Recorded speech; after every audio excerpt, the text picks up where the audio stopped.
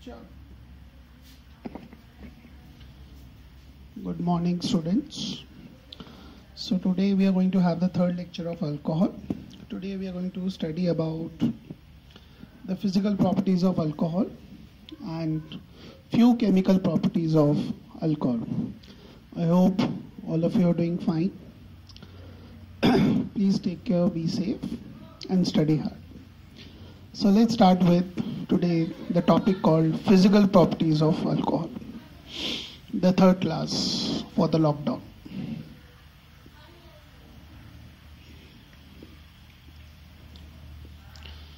In physical properties of alcohol, I'll be mainly discussing only two properties. Number one, water solubility or simply the solubility. And second point I will be discussing is the boiling point.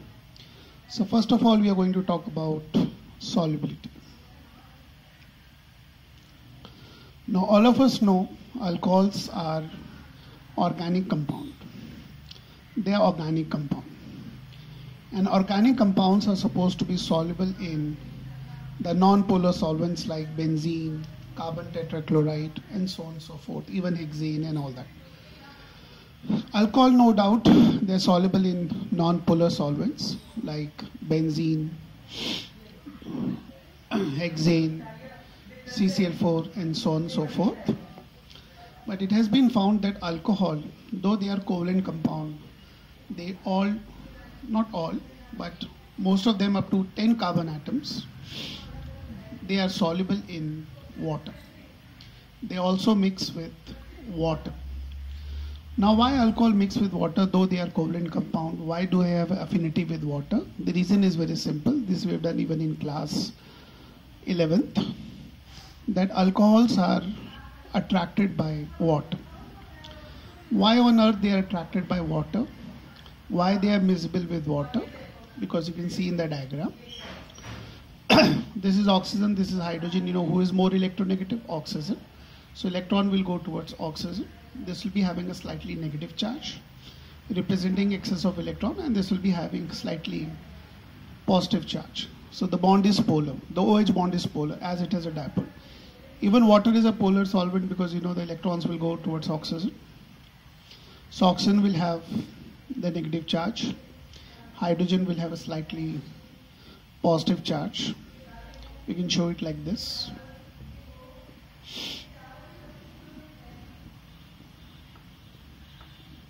We can show the water like this.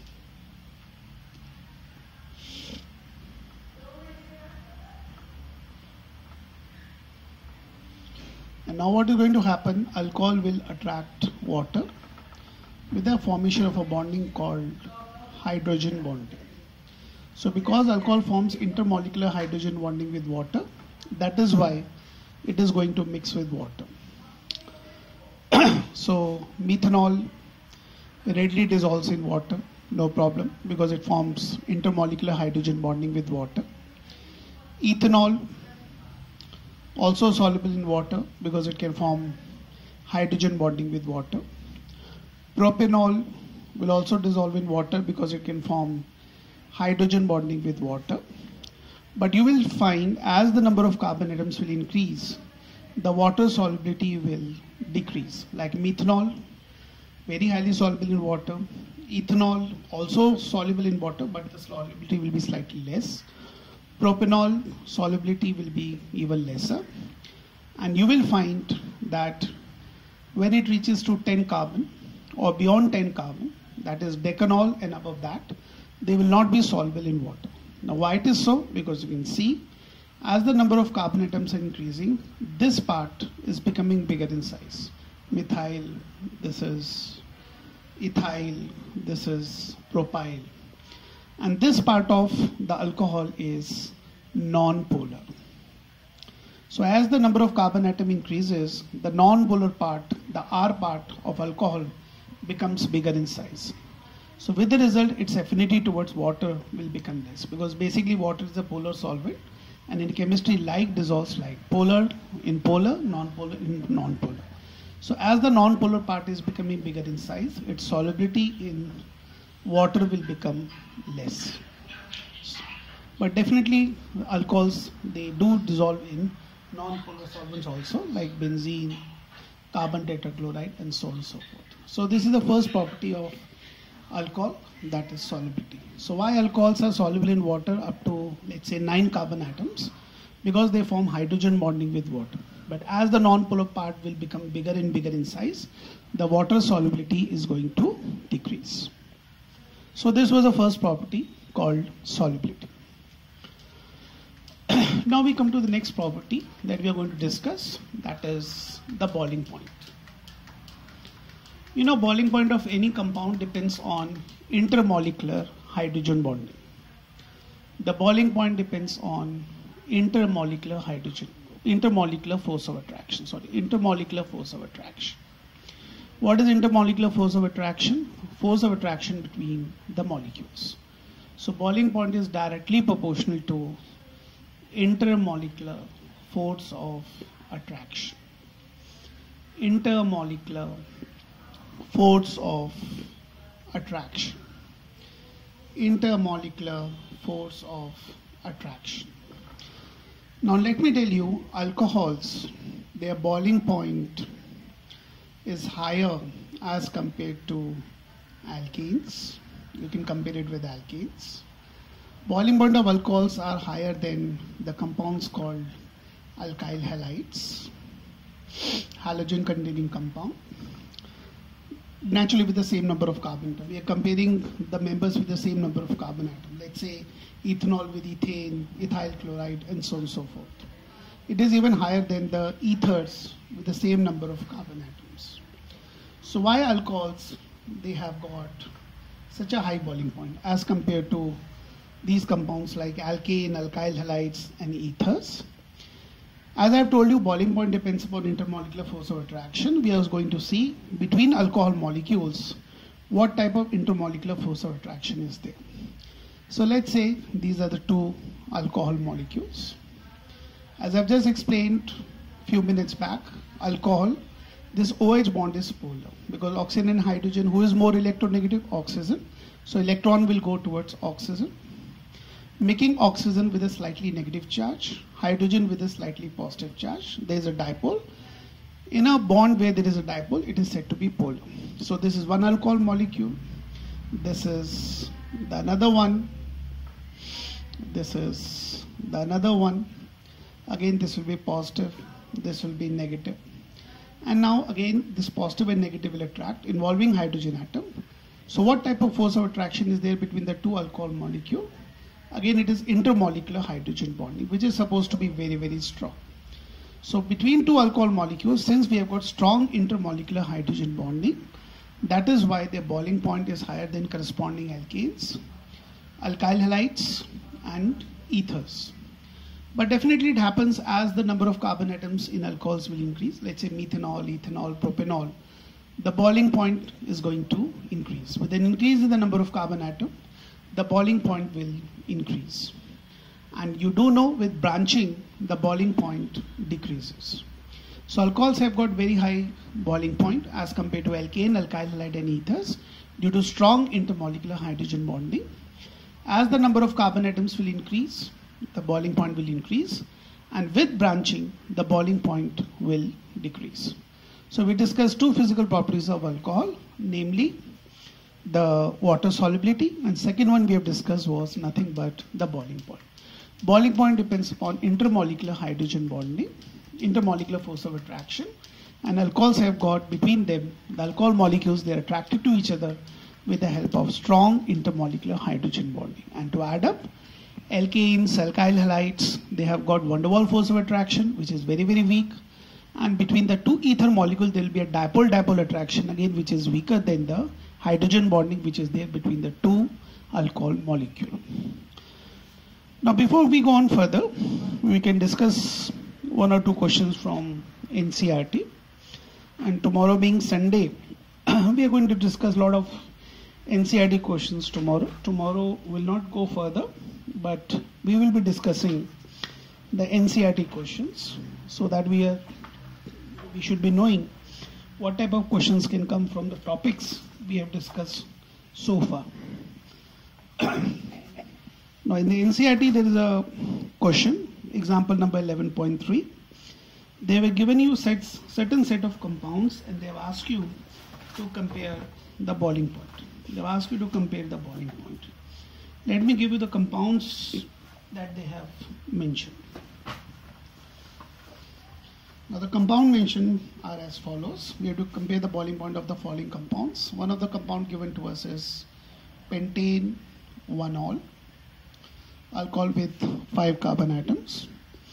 Other one that we have given is butane 1-ol with 1 4 carbon atoms. Other one is its isomer, but it has a branching, butane 2-ol. I hope you know with branching what happens the boiling point decreases as I've just told you. Other one is ethanol. We have to compare the boiling points, ethanol. And the last one that is given to us is propane 1-ol. And one more is given to us that is methanol. So we have to arrange them in the order of the boiling point, which has got a higher, which has got a lower. So we'll be discussing or using two concepts. Number one, with increase in number of carbon atom, the boiling point increases, and with branching, the boiling point will decrease. So, the least boiling point will be for methanol, as it has only one carbon atom. The higher one is your ethanol with two carbon atoms. Then higher one will be your propane 1-ol with three carbon atom. You can see as the number of carbon atoms are increasing, the boiling point is increasing. The next higher one will be butane 2-ol with 4 carbon atoms.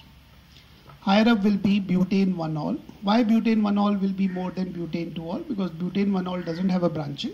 Butane 2-ol has a branching. And the highest of the lot will be nothing but your pentane 1-ol. So as such, the alcohols, they have got very high boiling point due to strong intermolecular hydrogen bonding. With increase in the number of carbon atom, what happens? The boiling point increases.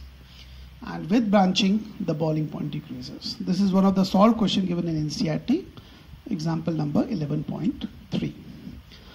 There's a second part of the question also. Again, they've given few compounds and they've asked you to compare their boiling points. So let me show you the compounds that they've given you.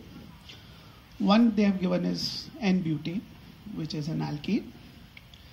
Between the alkane molecules, there is a weak van force of attraction. Other one given to us is ether, ethoxyethane. That's in ether. If you want to see the formula of ethoxyethane, it would be C2H5, OC2H5. Ether, ether, ROR, different from esters. Other one given to us is none other than your pentanal, that is an aldehyde and uh, other one is your pentane 1-ol. We have to compare their boiling point. Out of the four lots, the highest one will be pentane 1-ol, which has got strong intermolecular hydrogen bonding. Then will come your pentanal, that is aldehyde. We'll do later on in the chapter called aldehyde. Aldehyde and aldehyde, they have got dipole-dipole attraction. Then will come the ether, that is your C2H5, OC2H5, which do also have a dipole-dipole attraction, but weaker than the aldehyde. And the least one will be nothing but your N-butane, that is an alkane, which has got the weak der Waals force of attraction. So this is how we can compare the boiling point. So remember alcohols have got very high boiling point due to strong intermolecular hydrogen bonding, which is much stronger than the dipole-dipole attraction present in ethers, or maybe aldehydes. But definitely aldehydes are better as compared to the ethers. So this was regarding a topic called physical properties of alcohol. Now we are going to start with the chemical properties of alcohol. All the chemical properties of alcohol have been classified into three categories. Depends during the reaction which bond of alcohol is going to break. What is the general formula of an alcohol? General formula of the alcohol is ROH. Today we are going to discuss first of all the reactions which belongs to category 1. Category 1 will involve those reactions it involves those reactions during which reactions during which you will find carbon OH bond is going to break. This bond is going to break during the reaction. That is going to discuss today starting with category 1 reaction. When alcohol is going to react with any reagent, you will find in this category reaction carbon oxygen bond will break. Then time permitting we are going to discuss category 2 reactions also today. Category 2 reactions will in- involve those reactions during which you will find the OH bond will break. When the alcohol is going to react with any reagent, the OH bond is going to break. Then uh, on Monday we are going to discuss those reactions in which the whole alcohol molecule will participate. Both R will participate as well as OH group will participate. But that we are going to discuss on Monday. Today we are going to discuss only these two category reactions. I'm starting with category number one. When alcohol is going to react with anything, you will find carbon oxygen bond will break. I'm discussing category number one reaction. First of all.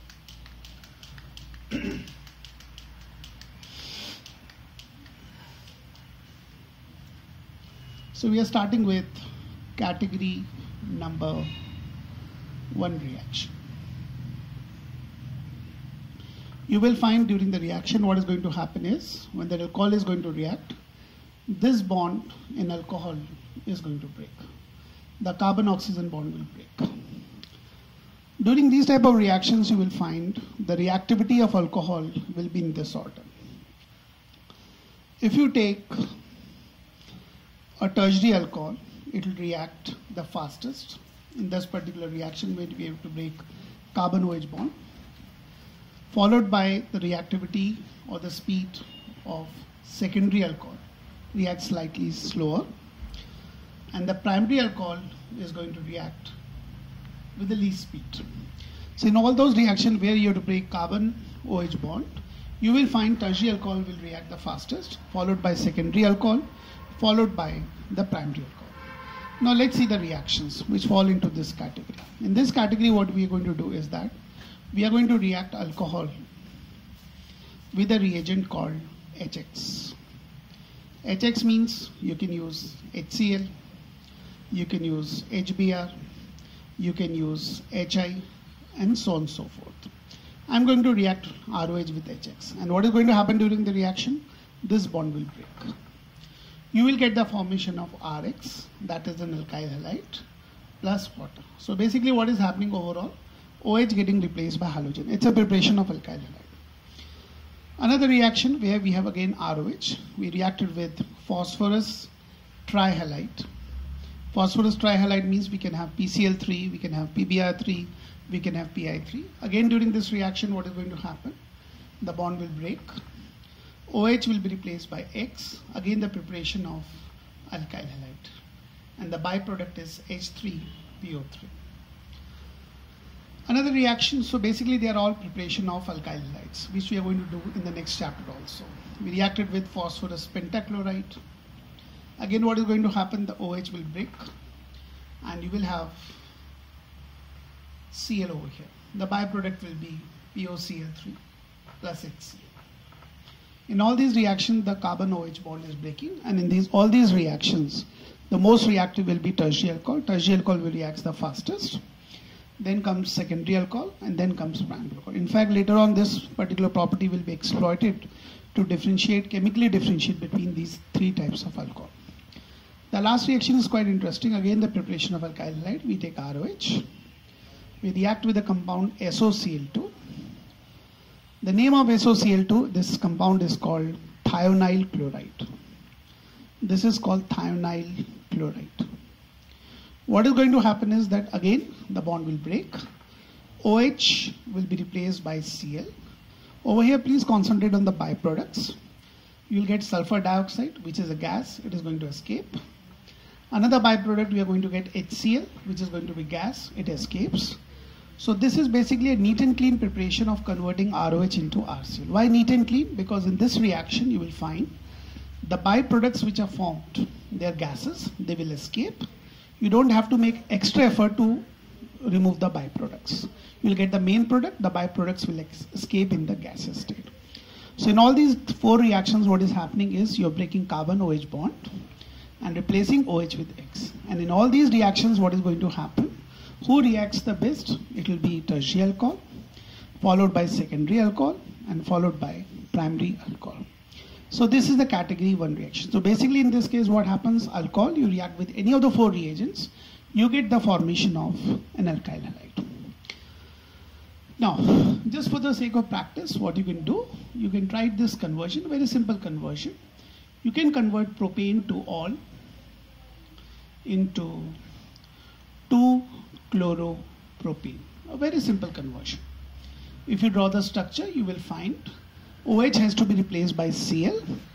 And if you want to replace OH with Cl, go with the last, uh, what do you call, reaction, because that gives you neat and clean product. So you write propane 2-ol, react with SOCl2.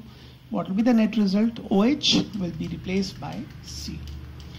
And let me tell you this particular mechanism, this particular reaction follows a mechanism which happens through the formation of a carbocation in the CBSE syllabus, we are not supposed to the mechanism of this particular reaction.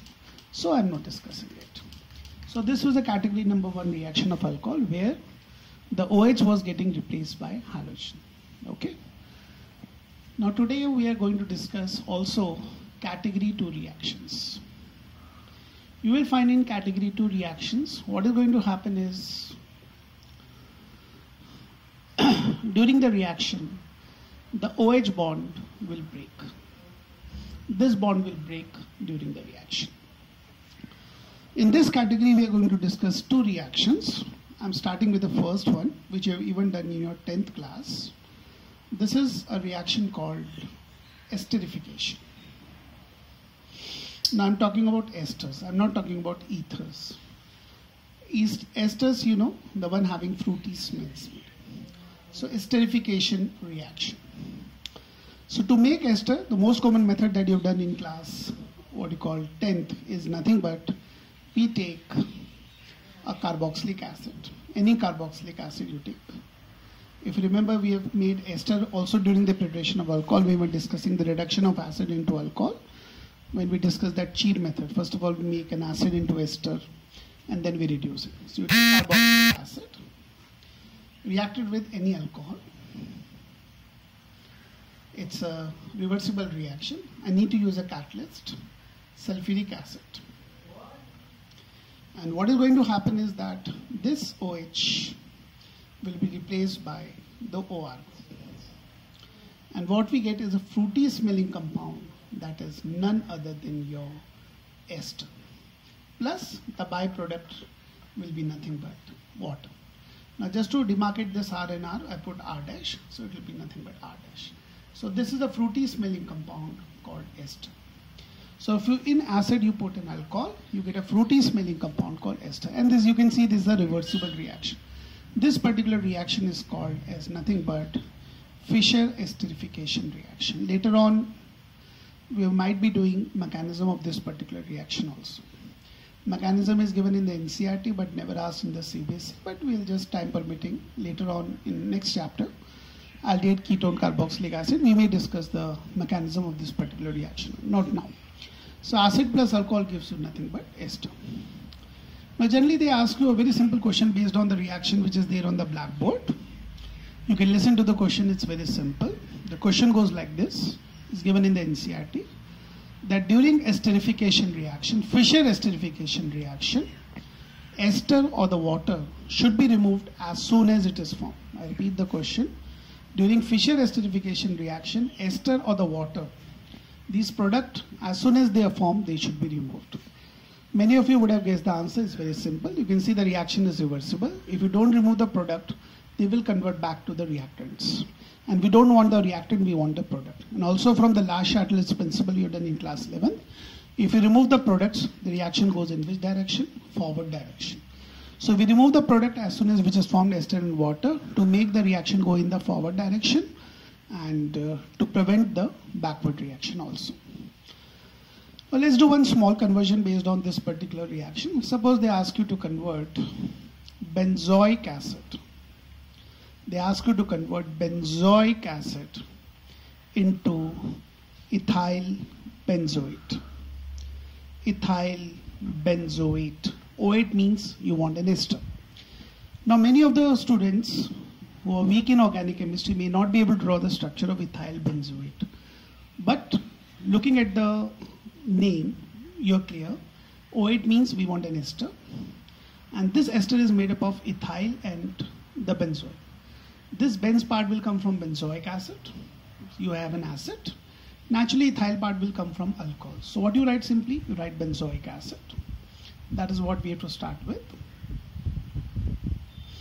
For making ester, you want an alcohol. Alcohol should be which one? Ethyl. So we want ethanol. C2H5OH. As I told you, it's a reversible reaction. Sulfuric acid acting as a catalyst. What is going to happen? This OH will be replaced by OR. OR in this case is O2C2H5. So what do we get is nothing but benzene. This is COOC2H5. So this is your ethyl benzoate. Of course, plus water also. So on the same lines, you can try this conversion at your leisure or right now also. You can convert propanoic acid into methyl propanoate. Methyl propanoate. So methyl propanoate, it is made by using propanoic acid and of as you can see from the name of the ester. So one of the method to convert alcohol into ester is by reacting with acid. There are two more methods which I'll be showing you, but this is what is called Fischer esterification reaction, which is nothing but a reversible reaction. There are two method, more methods of making alcohol into ester. Let me show you other two methods. In other two methods, what we can do is that we can take alcohol and we can react them with a compound, the acid derivative, namely acid chloride. This is acid chloride. Or we can react it with a compound called acid anhydride. This is nothing but acid anhydride. Acid anhydride. Above one is acid chloride. This is acid anhydride. In both the reaction, what is going to happen? This H will go away and H will be replaced by the group RCO. It's basically acylation of alcohol. What is acyl group? RCO group. So what we'll have is R, O. Instead of H, you will have COR group. This is the ester. Plus, of course, HCl. And in this case also, the H will be replaced by a group COR coming from acid anhydride plus the other RCO group will become carboxylic acid. So you're getting a fruity smelling compound called ester. In the first reaction, you can do the reaction in the presence of base NaOH. What this NaOH is going to do, it is going to remove HCl. It will react with HCl as it is formed to form NaCl in water. You will be able to remove one of the product and if you remove one of the product in the reaction, the reaction goes in the forward reaction. So in these two reactions also we are making ester by reacting alcohol with acid chloride or anhydride. Both of them are a acylation reaction where hydrogen is getting replaced by a group, a acyl group. Acyl group stands for RCO group. The acyl group can come from acid chloride, it can come from acid anhydride. And the third one was nothing but acid reacting with alcohol. That was a Fischer esterification reaction. So esterification reaction belongs to the category in which during the reaction you will see which bond of alcohol is breaking. The OH bond of the alcohol is breaking. So this is the first reaction of this particular category. Now we are moving on to the last reaction for the day, which again belongs to this category. And this is quite interesting. This is alcohols, they claim that they are acids. Alcohols claim that we are acids. So we are going to discuss acidic nature of alcohol. Acidic nature of alcohol. Acidic nature of alcohols. Alcohol claims they are acids. You know what are acids? The one which gives out what thing? H plus. So we are going to first of all investigate why alcohol are acidic. Why do they give H plus? Then we are going to see its strength, how strong the acid alcohol is. And then we are going to compare relative acidic strength of primary alcohol, secondary alcohol, and tertiary alcohol. So first of all, we are going to find out why and on what basis the alcohol claims that they are acids. That is, they are H plus donors. So we have got alcohol, ROH. This is the fifth time I'm telling you in alcohol, OH bond is polar because oxygen is more electronegative, electron goes towards oxygen. This is a small negative part and this is a small positive part. This bond is a polar bond. And the polar bond is supposed to undergo a process called ionization. It can break up into ions. So alcohols have got OH bond, which is polar. It can undergo a process called ionization. So this bond, in the presence of a strong base, can break like this. And this H can come out as H plus. And anything which gives out H plus is nothing but acidic in nature. So the reaction will go like this. This bond will break like this. Will get RO minus. This is termed as nothing but alkoxide ion, a very, very strong base. And it gives out H plus. So suppose somebody asks us why alcohols are acidic in nature. The answer is very simple. Alcohols are acidic in nature because they have what thing? Polar OH bond and because they have polar OH bond, this bond breaks or ionizes to gives out H plus. Anything which gives out H plus is nothing but acidic in nature. And you've done in class 11th, if a compound gives out H plus, the species which is formed after giving out H plus is nothing but called as its conjugate base. So RO minus basically is a conjugate base for ROH. So we can write down why alcohols are acidic in nature. We can write down alcohols are acidic in nature. They are acidic in nature, as I told you, because they have polar OH bond. They have polar OH bond. And why OH bond is polar? Because of the difference of electronegativity. Oxygen is the second most electronegative element after fluorine. So they have polar OH bond which can ionize, which can ionize to give out H plus, give out H plus. So alcohols, why they are acids? Because they give out H. And why do they give out H plus? Because they have a OH bond, which is polar because of the difference of electronegativity between oxygen and hydrogen. And the polar bond they can ionize easily and it gives you RO minus alkoxide ion, a conjugate base of alcohol and H plus. So alcohol claims that they are acid. But it is irony that alcohols they claim to be in acids, but let me tell you, it will come as a shock to you. Alcohols are even weaker acid as compared to water. Water, if you remember, pure water, we regard water to be neutral. Neutral okay? And we are saying that alcohols are even weaker acid as compared to alcohol. So we need to investigate why alcohols are weak acids. Why they are so weak acids. Who makes alcohol a weaker acid? Even weaker than water.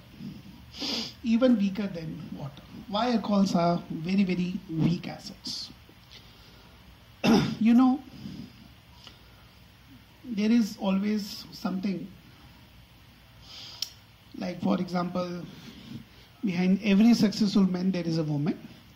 So now let's see who makes behind alcohol who is present who makes alcohol a weak acid. So if you just see behind this OH group you can see the culprit. The culprit is the R group. This is the one which is going to make alcohol the weak acid what is R group stands for alkyl group you have done in class 11th, the alkyl group shows an effect called plus inductive effect. Now many of you may not be aware or remembering what is plus inductive effect. Plus inductive effect means basically ability to push the shared electrons outwards. So this R group is going to do what? Since it shows plus I effect, it is going to pull, push these two electrons, the shared electrons like this it is going to push the electrons like this. This group shows plus I effect. It is going to push the shared electrons present, uh, what you call, in front of it like this.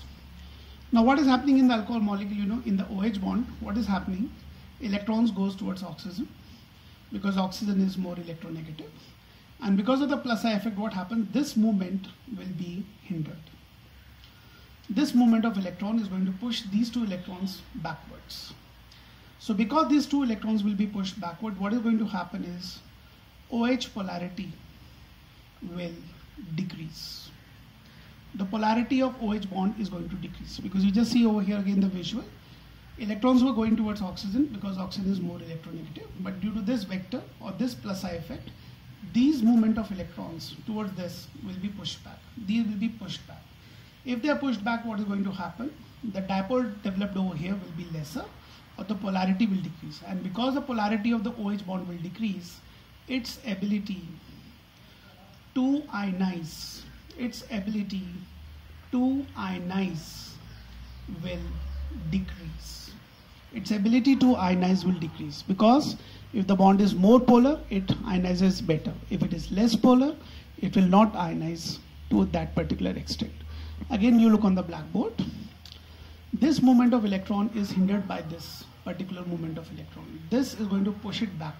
So with the result, polarity over here will decrease. The charges which is developed over here, the magnitude is going to decrease. The dipole will become weaker. And if the dipole, is going to become weaker, the polarity will be less. Polarity will be less, ability to ionize is going to be less.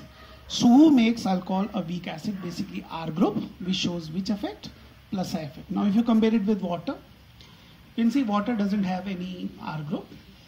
So definitely acidic in the water is going to be better as compared to the alcohol because R group is not there. That plus I strong plus I effect is missing.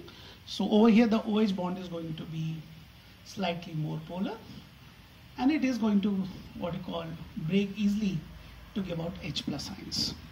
So if you remember in the starting only I told you ROH is going to give out H plus to form RO minus the conjugate base and I told you at that point of time though you would have not realized that RO minus is a very very strong base. You know from 11th class if an acid is weak its conjugate base is going to be very very strong. So alcohol is a weak acid so it converts into a conjugate base RO minus which is going to be a very very strong base. It is a very very strong base stronger than OH minus. Water is a stronger acid so its conjugate base OH minus will be comparatively a weaker base. So who makes alcohol a weak acid? Who is a culprit? R group which shows which effect? Plus I effect. What does the plus I effect does? It decreases the polarity of the OH bond. The dipole strength of the OH bond is going to decrease and with the result ability to ionize is going to become less. So if this concept is clear that R group is going to decrease the acidic strength of alcohol, I think if I write three alcohols on the blackboard, you would be able to compare their acidic strength. Let me show you. Remember R group is the culprit. R group makes alcohol a Duffer acid. So we have got three types of alcohol. We may have a tertiary alcohol. This is a tertiary alcohol. You can see there are three R groups which are making it Duffer. 3 plus I effect. We have secondary alcohol with the 2R group. There are two people who are spoiling this secondary alcohol. Over here there were three people spoiling the alcohol. We have primary alcohol, only one person spoiling it. And we have water, which is supposed to be neutral, pH 7. So if you compare tertiary, secondary and primary alcohol, if you compare the acidic strength, anybody can guess tertiary will be the least ah, acid because there are three R groups spoiling the alcohol. Two R group comparatively better, then primary and then nothing but water. So if you compare the acidic strength of tertiary, secondary and primary alcohol, which is going to be the strongest acidic in nature? Primary alcohol with one R group. Secondary alcohol will be slightly less because there are two R group. Tertiary will be the least because it has got the three R group. Now this is going to give you a conjugate base after giving out H plus. It is going to give you this conjugate base. This is going to give you this conjugate base after it gives out H plus. And the primary one will give you this conjugate base after giving out H plus. And what is going to give you a conjugate base? OH minus. So if you compare the basic strength of the conjugate base, you will find this conjugate base will be the most basic. Then this one, then this one, and then this one. What is the logic behind this? If the acid is weak, its conjugate base will be strong and vice versa. You've done this in class 11th in a chapter called ionic equilibrium. So that was the acidic nature of alcohol. Alcohol claims that we are acids. They are acids because they can give out H plus, but only in the presence of a very, very strong base, not in presence of a weak base. But as a reality, as a matter of fact, they are even weaker acidic as compared to water. Alcohol such weak acids, they can't even turn blue litmus red, which is a basic property of an acid. They don't show the litmus test. Now let's see how we can prove that experimentally that alcohols, in fact, they are acids. What is the experimental proof that by experiment how we can prove that alcohols are acid? Experimental proof for acidic nature of alcohol is as follows. If you take an alcohol, and in alcohol if you put highly reactive metals, like you can put sodium, you can put magnesium, you can put aluminum. If you put highly reactive metals, in alcohol if you put highly reactive metals, hydrogen will be displaced in the form of a hydrogen gas. So since highly reactive metals on reacting with alcohol can displace hydrogen in the form of hydrogen gas, this proves that alcohols are acidic in nature. What will be the reaction? Like if you put an alcohol, you put sodium, you will get a salt, RONA. This is called sodium alkoxide, sodium alkoxide and the hydrogen is going to be liberated in the form of a hydrogen gas. Hydrogen is liberated. And you know how we'll come to know whether hydrogen is liberated? You know, hydrogen burns with the pop sound. Similarly, in alcohol, if you put magnesium, you will get magnesium alkoxide. With this formula, magnesium has a valency of 2. So this will be magnesium alkoxide. And again, who will be given out? Hydrogen gas. If you put aluminium, you will get aluminium oxide. Aluminium has a valency of 3. So aluminum or alkoxide will be nothing but like this. And again the hydrogen gas will be given out. So since alcohol reacts with the highly reactive metals to give out hydrogen gas, that's why this proves experimentally that they are acidic in nature. As such, alcohol, they don't turn blue litmus red. So alcohol claims that they are acids, but they are very, very weak acid, no litmus test. But this is how we experimentally we can prove that alcohols are acidic in nature. So in today's class, what we discussed is the physical properties of alcohol. We did one of the question. And then we discussed two chemical properties of alcohol, namely, for number one, during which carbon oxygen bond was breaking. And there's a second property that we discussed, during which the OH bond was breaking. I hope you enjoyed the class. Please make the notes in your class or copy and uh, we meet tomorrow. Tomorrow we'll discuss only the questions of the NCERT. So you should have an NCERT book. If you don't have an NCERT book, you can download free online. It's available. So I hope you are enjoying the class. I'm trying my best to give my best. Though I'm not tech savvy, I'm taking the help of my son also. He uploads all the video on the YouTube. So anyway, see you tomorrow. Take care. Study hard. Thank you.